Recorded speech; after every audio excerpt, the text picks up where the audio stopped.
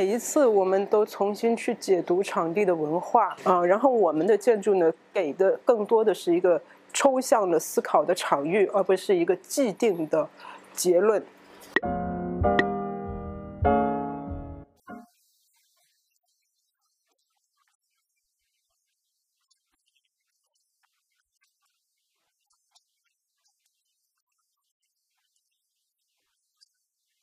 呃，我们就真的是深有感触，因为会感觉到所有的这些理论更 grounded、更真实、更具体，而且更有它的啊这个支撑的结构。所以呢，啊，我们觉得是一个非常好的一个体验。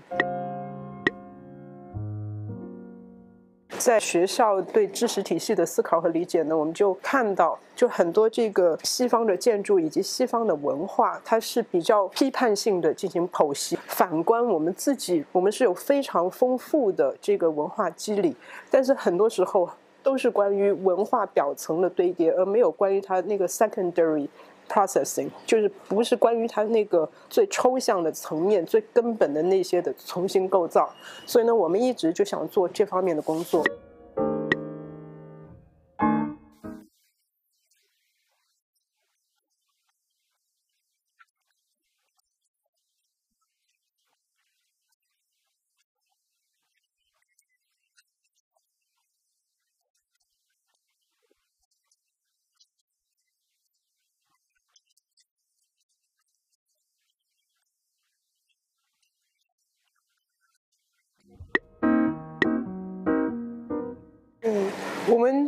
跟孩子基本是一个平等的关系，就是有时候是我们是要跟在他们后边的，尽尽管他才有四岁，但他有他自己的想法，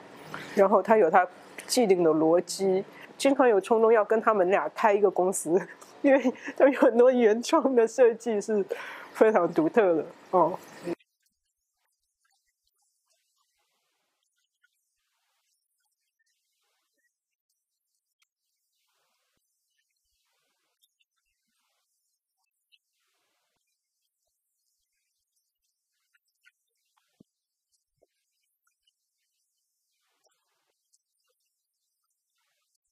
对孩子的教育更多是一个 role model 的一个一个一个教育，就是我是这么做的，我是这么去努力的，我是这样去阅读这些书籍的。然后呢，我没有跟他说你要做什么，但是他会自觉的去做哦。然后与此同时呢，我们在教育他们的时候呢，还希望放给他更多的自由。就是说，在严谨的同时，会有一些自由，然后从多个角度去看待同一个问题，啊，会从这些方向去，嗯，批判性啊、创创造性啊这些方向去影响他的思维。